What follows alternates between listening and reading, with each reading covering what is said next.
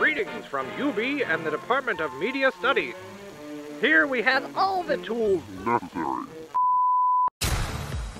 Yeah, you're gonna have to. Talk. Yeah, there you go, there you go, there you go. And there we go, he turned around. Media study is, is the ability not just to uh, understand, deconstruct, and analyze visual media, but it's the ability to use media tools to convey your ideas so that you can affect, uh, you can shape media.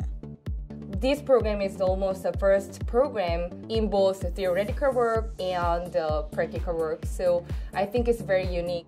I think the main thing that sets us apart is that we're quite diverse. Media is spreading out in many different directions, and we, we spread out in many different directions.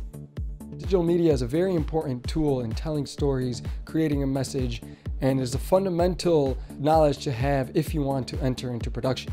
And this, there's no stability that you're gonna get from this, right? You're just letting it kind of flop around out there and you're stretched out. It doesn't make any sense, right? You want it tucked in, right? You want everything based on your core, right? Keeping your knees bent, right? This is Steadicam operation position.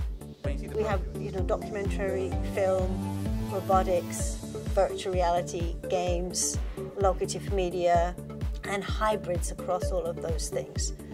Our graduates, you know, are just having a fantastic life using this um, autonomy within the area of the media as a foundation for building something wonderful to do.